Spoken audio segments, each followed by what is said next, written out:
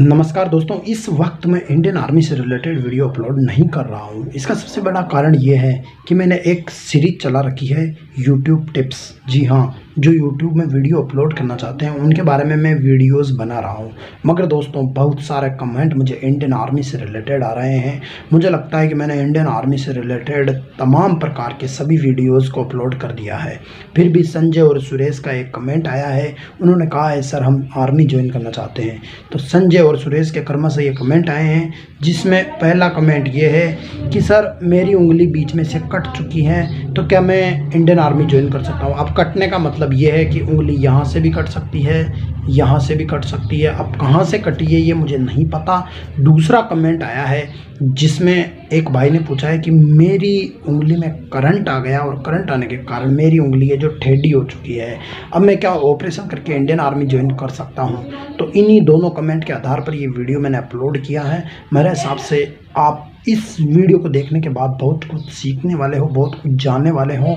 दोस्तों, अब मैं पहले कमेंट की बात आपको बता दूँ कि दोस्तों, अगर आपकी उंगली में यहाँ पे कट हो चुका है, अगर कट होने के बाद भी आपकी उंगली सीधी है तो दोस्तों, यकीन मानो आपको इंडियन आर्मी में फिट कर लिया जाएगा। लेकिन दोस्तों, अगर आपकी उंगली में कट हो चुका है, अगर आपकी उंगली बहुत ज़्यादा टेढ़ी हैं तो दोस्तों आपको आर्मी में बाहर किया जाएगा।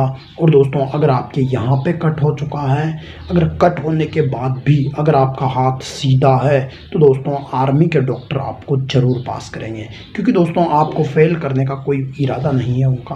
उनका एक ही मकसद है कि उनको फिट बंदे चाहिए, अच्छे बंदे चाहिए। इसलिए वो कभी भी आपको अनफिट नहीं करेंगे अगर आपके प्रॉब्लम्स नहीं है। अब दोस्तों, दूसरे कमेंट की बात करें तो एक भाई ने पूछा है कि, सर, मेरी जो उंगली है इसमें करंट आ चुका है, जिसके कारण उंगली ठेडी हो चुकी है। तो क्या मैं आर्मी में फिट हो पाऊँगा? तो दोस्त, अब मैं आपको बता दूँ, अगर आपकी उंगली करंट लगने के कारण इस तरीके से टेढ़ी है तो आपको आर्मी में अनफिट किया जाएगा। मगर मगर दोस्तों, आपको कब फिट किया जा सकता है?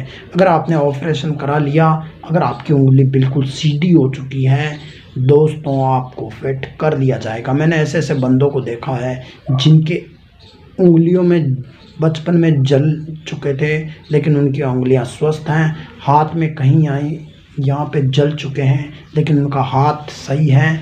अगर आर्मी ऑफिसर्स जो डॉक्टर हैं, उनको लगा कि आप फिट हो तो दोस्तों, आपके इस तरीके की प्रॉब्लम होते हुए भी आपको फिट कर दिया जाएगा।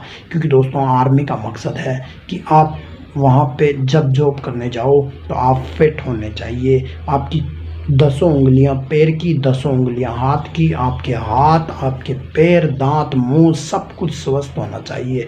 अगर आपके सभी चीज़ें स्वस्थ हैं तो आप दोस्तों आर्मी ज्वाइन कर सकते हो। मेरे ख्याल से इन दोनों कमेंट के आधार पर दोनों भाइयों को अपना जवाब मिल गया होगा। फिर भी दोस्तों, अगर आपके कोई भी समस्या हो तो मैंने इंडियन आर्मी से रिलेटेड कई प्रकार की वीडियोस अपलोड कर रखे हैं। वहाँ जाके वीडियो आप देख सकते हो। और अंत में ये कहना चाहूँगा दोस्तों, अगर आप यूट्यूब टिप्स से रिलेटेड वीडियोस देखना चाहते हो तो आप हमारे चैनल के साथ जुड़ सकते हैं। मैंने अभी एक सीरीज़ चालू कर रखी है, जिसमें इंडियन आर्मी के अलावा मैं यूट्यूब टिप्स से रिलेटेड वीडियो अपलोड कर रहा हूँ। दोस्तों, जैसे ही ये सीरीज़ ख़त्म होगी, उसके बाद दूसरी न्यू सीरीज़ चालू करेंगे किसी अन्य टॉपिक पे। दोस्तों, मुझे पैसों का कभी लालच नहीं रहा है। जो मुझे ज्ञान है, उसी ज्ञान के आधार पर वीडियो बनाने की कोशिश मैं करता हूँ। अब यूट्यूब टिप्स मैं इसीलिए दे रहा हूँ क्योंकि दोस्तों यूट्यूब वीडियो अपलोड करते हुए मुझे कई साल हो गए, उसका एक्सपीरियंस है, इसीलिए वीडियो आपको बना बना कर बता रहा हूँ। दोस्तों, आपको मेरे वीडियोस कैसे लग रहे हैं कमेंट ज़रूर करें, वीडियो को लाइक करें। और दोस्तों, वीडियो देखना चाहते हो तो चैनल भी सब्सक्राइब कर सकते हैं। आज के वीडियो में इतना ही, दोस्तों, मिलता है नेक्स्ट न्यू वीडियो में, तब तक के लिए जय हिंद, जय भारत।